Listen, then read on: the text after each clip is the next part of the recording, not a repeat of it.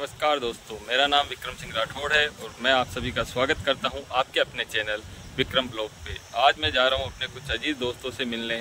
वहीं पे आपकी मुलाकात कराऊँगा मेरे खास दोस्तों से। तो चलिए मेरे साथ, मेरे दोस्त। ये है मेरे बेजुबान दोस्त। इनकी रक्षा करना और इनको खाना खिलाना, ये सब आपका और हमारा सबका धर्म है।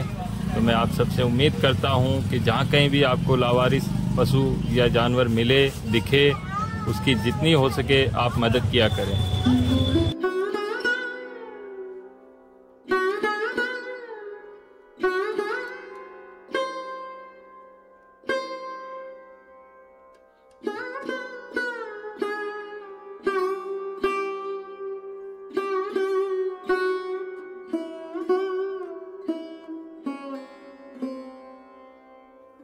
Thank mm -hmm. you.